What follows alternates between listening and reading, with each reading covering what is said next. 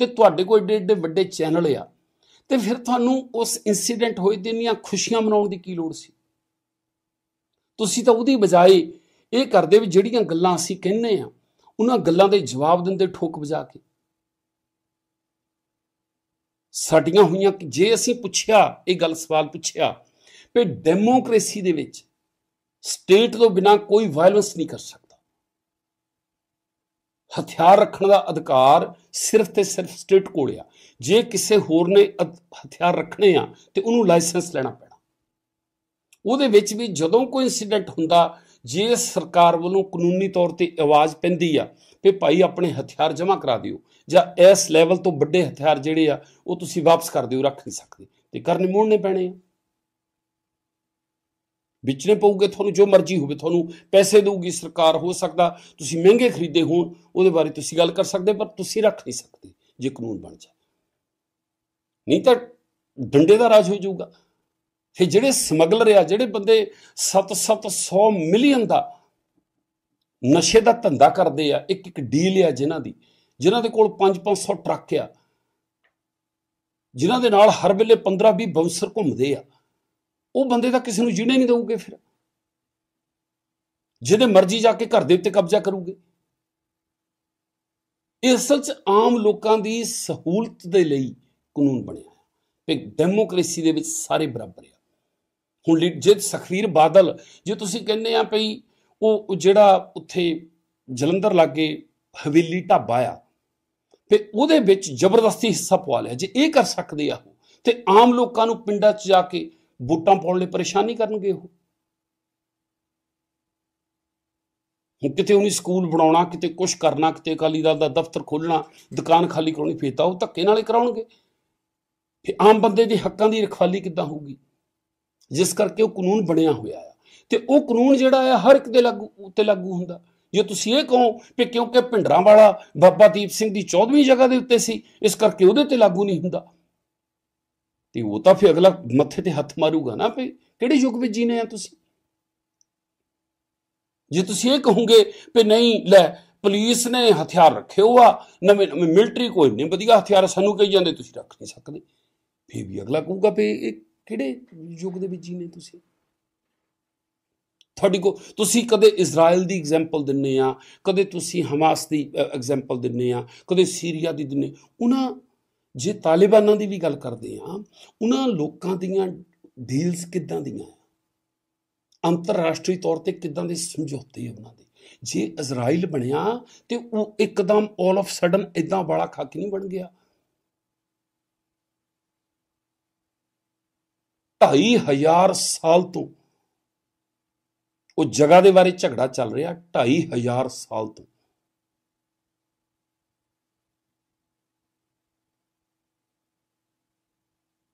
Roman ਆਏ ਆ, ਉੱਥੇ ਉੱਥੇ ਉੱਥੇ ਹਾਲਾਤ ਕਿਦਾਂ ਦੇ ਬਦਲੇ ਕੀ ਅਸੀਂ ਇੰਨਾ ਨਹੀਂ ਸੋਚਦੇ ਪਈ ਕ੍ਰਿਸਚੀਅਨਿਟੀ ਦਾ ਮੁੱਢ ਜੀਸਸ ਤੋਂ?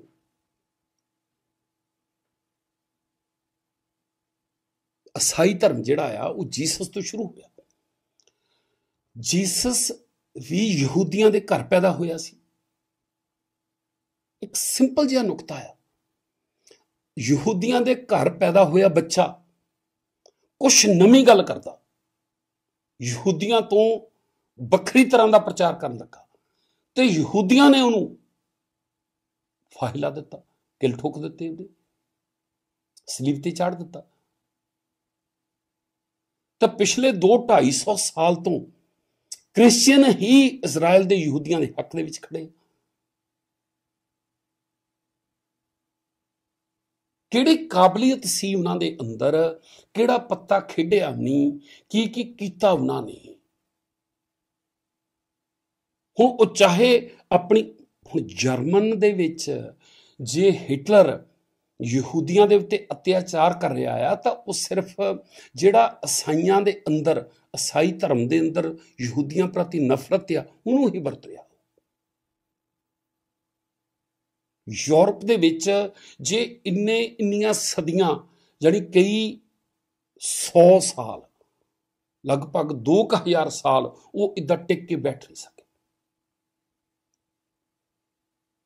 ਹੁਣ ਪਹਿਲੀ ਸੰਸਾਰ ਜੰਗ, ਜਿਹੜਾ ਹਿਟਲਰ ਵਾਲਾ ਯਹੂਦੀਆਂ ਦੇ ਨਾਲ ਪੰਗਾਇਆ ਉਹ ਦੂਜੀ ਸੰਸਾਰ ਜੰਗ ਵੇਲੇ ਹੋਇਆ। ਪਰ ਪਹਿਲੀ ਸੰਸਾਰ ਜੰਗ 1914-15 ਦੇ ਵਿੱਚ ਈਵਨ 1890ਵਿਆਂ ਦੇ ਵਿੱਚ ਇੰਗਲੈਂਡ ਦਾ ਝੁਕਾਅ ਕਿਉਂ ਯਹੂਦੀਆਂ ਵੱਲ ਨੂੰ ਹੋਇਆ? ਰਸ਼ੀਆ, ਜਰਮਨ ਤੇ ਇੰਗਲੈਂਡ ਤਿੰਨ ਵੱਡੇ ਕੰਟਰੀ ਆ, ਵੱਡੀਆਂ ਸਲਤਨਤਾਂ ਆ, ਉਹਨਾਂ ਦਾ ਆਪਸ ਵਿੱਚ ਹੀ ਕਿੰਨਾ ਪੁਰਾਣਾ ਝਗੜਾ ਆ? ਯਹੂਦੀਆਂ ਦਾ ਜਰਮਨ, ਰਸ਼ੀਆ ਜਾਂ ਅਮਰੀਕਾ ਦੇ ਵਿੱਚ ਹੀ ਵਸੇਬਾ ਕਿਉਂ ਜ਼ਿਆਦਾ ਹੋਇਆ? ਕਿਹਦੀ ਸ਼ਹਿ ਦੇ ਉੱਤੇ ਉਹ ਯੂਰਪ ਦੇ ਬਾਕੀ ਮੁਲਕਾਂ ਦੇ ਵਿੱਚੋਂ ਹਜ਼ਾਰਾਂ ਨਹੀਂ, ਲੱਖਾਂ ਦੀ ਗਿਣਤੀ ਦੇ ਵਿੱਚ ਜਾ ਕੇ ਫਲਸਤੀਨ ਦੇ ਵਿੱਚ ਬਸਣ ਲੱਗੇ ਆ। ਕਿੱਡੀ ਲੰਬੀ ਪਲਾਨ ਹੋਈ ਆ। ਕਿਹੜੀ ਕਿਹੜੀ ਸ਼ਕਤੀ ਸੀ ਉਹਨਾਂ ਦੇ ਪਿੱਛੇ? ਪਹਿਲੀ, ਦੂਜੀ ਸੰਸਾਰ ਜੰਗ ਦੇ ਵਿੱਚ ਉਹਨਾਂ ਚੋਂ ਕਿੱਡੀ ਵੱਡੀ ਗਿਣਤੀ ਨੇ ਇੰਗਲੈਂਡ ਦਾ ਸਾਥ ਦਿੱਤਾ। ਕਿੰਨੇ ਸਾਧਨ ਸੀ ਉਹਨਾਂ ਦੇ ਕੋਲ? ਕਾਦੇ ਪਿੱਛੇ ਉਹਨਾਂ ਦੀ ਡੀਲ ਹੋਈ ਆ ਇਹਨਾਂ ਦੇ ਨਾਲ ਇੰਗਲੈਂਡ ਤੇ ਅਮਰੀਕਾ ਦੀ? ਉਹ ਸਾਰੇ ਕੁਝ ਨੂੰ ਵਿਚਾਰ ਕੇ ਫਿਰ ਆਪਣੇ ਆਪ ਨੂੰ ਉਹਦੇ ਬਰਾਬਰ ਰੱਖ ਕੇ ਦੇਖੀਏ ਤਾਂ।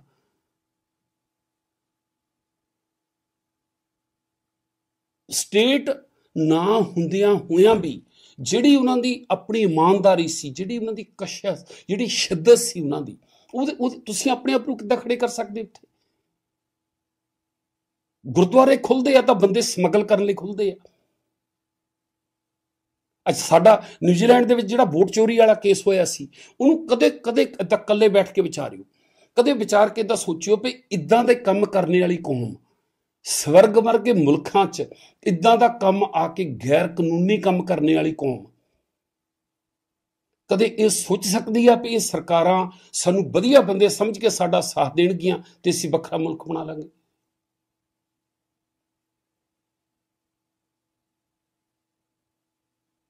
ਜੇ ਉਹ ਸਵਾਲ ਪਿੰਡਰਾਂ ਵਾਲੇ ਦੇ ਉੱਤੇ ਉੱਠਿਆ ਇਸ ਗੱਲੋਂ ਕਿ ਕੌਮ ਦਾ 2 ਲੱਖ ਨੌਜਵਾਨ ਮਰਨ ਦੀ ਜ਼ਿੰਮੇਵਾਰੀ, ਪੰਜਾਬ ਨੂੰ 35 40 50 ਸਾਲ ਪਿੱਛੇ ਸਿੱਟਣ ਦੀ ਜ਼ਿੰਮੇਵਾਰੀ ਸਰਕਾਰ ਤੋਂ ਪਹਿਲਾਂ ਪਿੰਡਰਾਂ ਵਾਲੇ ਦੀ ਬਣਦੀ ਹੈ। ਜੇ ਅਕਾਲੀਆਂ ਨੂੰ ਠਿੱਬੀ ਦੇ ਕੇ ਜਾਂ ਪੰਜਾਬ 'ਚ ਗਿਆਨੀ ਜੈਲ ਸਿੰਘ ਜਿਹੜਾ ਕਿ ਆਪ ਕਾਂਗਰਸ ਦਾ ਕਰਤਾ ਧਰਤਾ ਸੀ, ਉਹਦੇ ਮੋਰੀ ਲੀਡਰਾਂ ਦੇ ਵਿੱਚੋਂ ਇੱਕ ਸੀ। ਉਹਦੇ ਨਿੱਜੀ ਵਿਰੋਧੀ ਦਰਬਾਰਾ ਸਿੰਘ ਨੂੰ ਥੱਲੇ ਲਾਉਣ ਲਈ ਜਾਂ ਪੰਜਾਬ ਦੀ ਖੇਤਰੀ ਪਾਰਟੀ ਅਕਾਲੀ ਦਲ ਨੂੰ ਥੱਲੇ ਲਾਉਣ ਲਈ। ਕਾਂਗਰਸ ਦੀ ਸ਼ਹਿ ਦੇ ਉੱਤੇ ਭਿੰਡਰਾ ਵਾਲਾ ਜ਼ੋਰ ਫੜ ਰਿਹਾ ਸੀ ਤੇ ਇਹ ਗਲਤੀ ਭਿੰਡਰਾ ਵਾਲੇ ਦੀ ਆ। ਪੰਜਾਬ ਨਾਲ ਗਦਾਰੀ ਪਹਿਲਾਂ ਉਹਨੇ ਕੀਤੀ ਆ।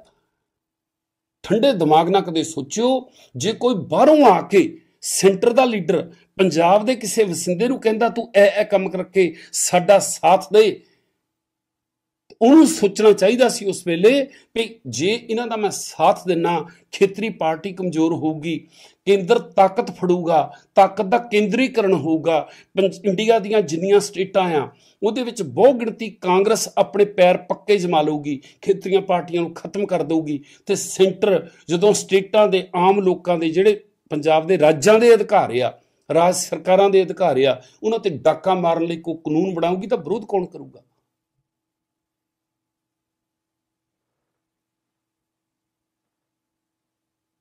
ਪਹਿਲੀ ਗੱਲ ਤਾਂ ਵੈਸੇ ਹੀ ਤਾਕਤ ਦਾ ਕੇਂਦਰੀਕਰਨ ਦੇਸ਼ ਲਈ ਖਤਰਾ ਹੁੰਦਾ। ਇਹਨਾਂ ਮੁਲਕਾਂ ਦੇ ਵਿੱਚ ਇਹ ਹੋ ਨਹੀਂ ਸਕਦਾ। ਜੇ ਅਮਰੀਕਾ ਦਾ ਫੈਡਰਲ ਢਾਂਚਾ ਆ, ਕਦੇ ਕਨਸਟੀਟਿਊਸ਼ਨ ਪੜ੍ਹ ਕੇ ਦੇਖੋ, ਅਮਰੀਕਾ ਦੇ ਕਨਸਟੀਟਿਊਸ਼ਨ ਨੂੰ ਇੰਡੀਆ ਨਾਲ ਕੰਪੇਅਰ ਕਰਕੇ ਦੇਖ ਲਿਓ। ਇੰਡੀਆ 'ਚ ਅਸੀਂ ਕਹਿੰਨੇ ਆ ਵੀ ਸਾਡਾ ਫੈਡਰਲ ਢਾਂਚਾ ਆ, ਪਰ ਉੱਥੇ ਸਟੇਟਾਂ ਕੋਲ ਉਨੇ ਅਧਿਕਾਰ ਨਹੀਂ ਹੈਗੇ। ਅਮਰੀਕਾ ਦੀਆਂ ਸਟੇਟਾਂ ਤਾਂ ਆਪਣੇ ਆਪ 'ਚ ਵੱਖਰੇ ਦੇਸ਼ ਵਾਂਗ ਵਿਚਰਦੀਆਂ।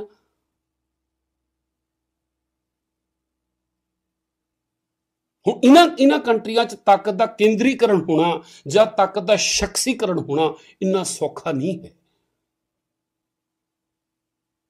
ਇੱਥੇ ਆਮ ਲੋਕਾਂ ਦੇ ਵਿੱਚ ਅਵੇਅਰਨੈਸ ਆ, ਠੀਕ ਆ, ਜਿਹੜੀਆਂ ਘੱਟ ਗਿਣਤੀਆਂ ਆ ਕੁਝ ਪਛੜੇ ਹੋਏ ਵਰਗ ਆ ਜਿਹੜੇ ਉਹ ਹਮੇਸ਼ਾ ਆਪਣੇ ਸ਼ਾਰਟ ਟਰਮ ਦੇ ਫਾਇਦੇ ਨੂੰ ਦੇਖ ਕੇ ਜਾਂ ਸਾਡੇ ਅੱਜ ਦਾ ਟਾਕਾ ਨਿੰਨੀ ਵਾਲਾ ਗਰੁੱਪ ਆ, ਸਾਡੇ ਆਪਣੇ ਬੰਦੇ ਜਿਹੜੇ ਆ ਏਸ਼ੀਆ ਤੋਂ ਆਏ ਉਹ ਕਈ ਵਾਰ ਇਦਾਂ ਹੋ ਜਾਂਦੇ ਆ ਵੀ ਜਿੱਥੋਂ ਸਾਡੀ ਬੱਲੇ ਬੱਲੇ ਹੁੰਦੀ ਆ, ਕੋਈ ਨਹੀਂ ਪੱਠੇ ਇਹਨੂੰ ਵੀ ਪਾ ਦੋ, ਇਹਨੂੰ ਵੀ ਪਾ ਦੋ, ਵੋਟਾਂ ਕਰਕੇ ਕੋਈ ਨਹੀਂ। ਪਰ ਜਿਹੜੇ ਮੈਜੋਰਟੀ ਦੇ ਵਿੱਚ ਜਿਹੜੇ ਆਮ ਲੋਕ ਆ ਇੱਥੇ ਦੇ, ਉਹ ਇੰਡੀਵਿਜੂਅਲੀ ਸੋਚਦੇ ਆ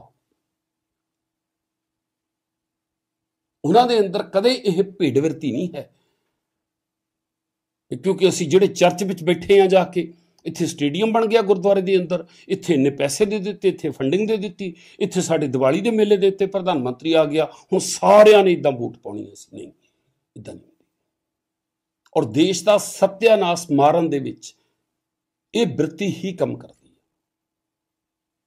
ਜਿੱਥੇ ਭੀੜ ਵਾਂਗ ਸੋਚਣ ਲੱਗ ਪੈਨੇ ਆ, ਜਿੱਥੇ ਦੇਖਾ ਦੇਖੀ ਵਿਚਰਨ ਲੱਗ ਜਿਹੜੀ ਮੈਂ ਗੱਲ ਕਰਦਾ ਸੀ ਕਿ ਐਡੇ ਐਡੇ ਵੱਡੇ ਚੈਨਲ ਹੋਣ ਦੇ ਬਾਵਜੂਦ ਇਹਨਾਂ ਨੇ ਸਾਡੀਆਂ ਗੱਲਾਂ ਦੇ ਜਵਾਬ ਦੇ ਕੇ ਲੋਕਾਂ ਨੂੰ ਸੰਤੁਸ਼ਟ ਕਿਉਂ ਨਹੀਂ ਕੀਤਾ?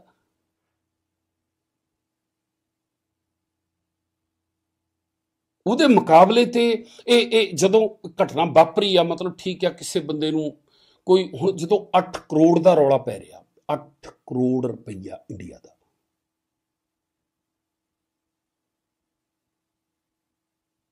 ਕਿਹੜੇ ਪੰਥਕ ਪਰਿਵਾਰ ਦੇ ਰਾਹੀਂ ਕਿਹੜੇ ਬੰਦੇ ਨੂੰ ਦਿੱਤਾ ਗਿਆ? ਕਿਨੇ ਉਹ ਕਿੱਦਾਂ ਉਹਨੇ ਬਾਕੀਆਂ ਨੂੰ ਲਾਰਾ ਲਾਇਆ? ਕਿੱਥੋਂ 16 ਲੱਖ ਵਾਲਾ ਰੋਲਾ ਪਿਆ ਪੇ 16 ਲੱਖ ਦਾ ਡਾਲਰ ਇਕੱਠਾ ਹੋਇਆ ਡਾਲਰ ਆਇਆ ਇਕੱਲਾ ਖਾ ਗਿਆ। ਕਿ ਕਿਉਂ ਤਾਂ ਹੁਣ ਅੱਜ ਕੇਸ ਖਤਮ ਹੋ ਲੈਣ ਦਿਓ, ਉਹ ਤੋਂ ਬਾਅਦ ਜਦੋਂ ਸਿਵਲ ਦੇ ਕੇਸ ਚੱਲੂਗੇ। ਹੌਲੀ ਹੌਲੀ ਕਰਕੇ ਤਹਿਾਂ ਦੇ ਵਿੱਚੋਂ ਬਹੁਤ ਕੁਝ ਨਿਕਲੂਗਾ।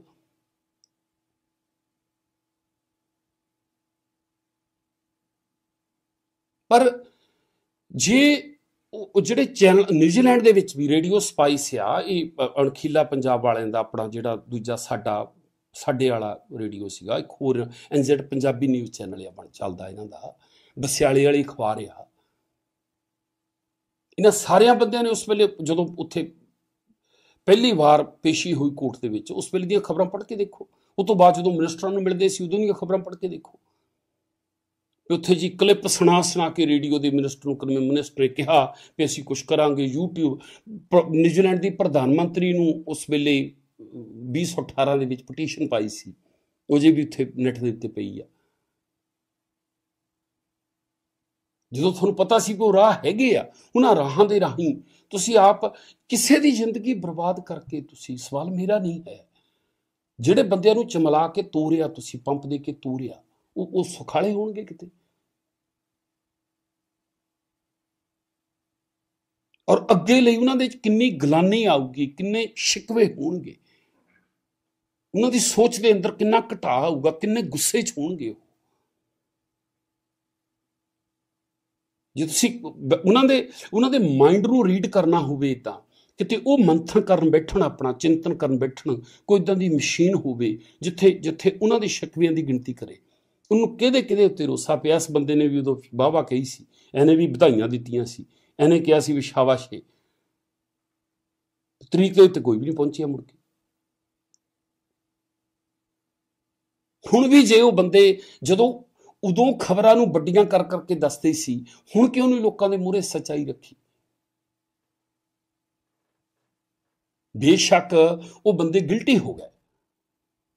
ਆਪਣੇ ਆਪ ਉਹ ਗਿਲਟੀ ਹੋਏ ਆ ਜਾਂ ਜਿਉਰੇ ਨੇ ਕਰ ਦਿੱਤੇ। ਉਹਨਾਂ ਨੂੰ ਜੇਲ੍ਹ ਹੋ ਜਾਣੀ ਹੈ ਮੋਰਲ ਸਪੋਰਟ ਤਾਂ ਹੁਣ ਵੀ ਚਾਹੀਦੀ ਸੀ ਨਾ ਉਹਨਾਂ ਨੂੰ। ਰੱਬ ਦੀ ਪਿਆ ਚਾਹੇ ਜੰਮੂ ਆ। ਉਹਨਾਂ ਨੂੰ ਉਹਦੇ ਉੱਤੇ ਕੋਈ ਇਤਿਹਾਸ ਦੀਆਂ ਦਲੀਲਾਂ ਦੇ ਕੇ ਉਹਨਾਂ ਨੂੰ ਦੇਖੋ ਜੀ, ਛੇਵੇਂ ਪਾਤਸ਼ਾਹ ਨੂੰ ਵੀ ਤਾਂ ਗਵਾਲੀਅਰ ਜੇਲ੍ਹ ਦੇ ਵਿੱਚ ਪਾਇਆ ਹੀ ਸੀਗਾ। ਤਾਂ ਕੀ ਹੈ ਕੁਝ ਕਿਸੇ ਵੀ ਤਰ੍ਹਾਂ। ਤਾਂ ਕਿ ਉਹਨਾਂ ਦੇ ਪਰਿਵਾਰਾਂ ਨੂੰ ਹੌਸਲਾ ਹੁੰਦਾ। ਉਹਨਾਂ ਦੇ ਬੱਚੇ ਜਦੋਂ ਇਦਾਂ ਇਦਾਂ ਇਹ ਖਬਰ ਪੜ੍ਹਦੇ ਵੀ ਭਾਈ ਇਦਾਂ ਆ ਆ ਹੋਇਆ, ਹੁਣ ਇੰਨੀ ਸਜ਼ਾ ਹੋਣੀ ਆ। ਤੇ ਨਾਲ ਦੀ ਨਾਲ ਉਹਨਾਂ ਨੂੰ ਕੁਝ ਕੁਝ ਸੰਤੁਸ਼ਟੀ ਤਾਂ ਹੁੰਦੀ।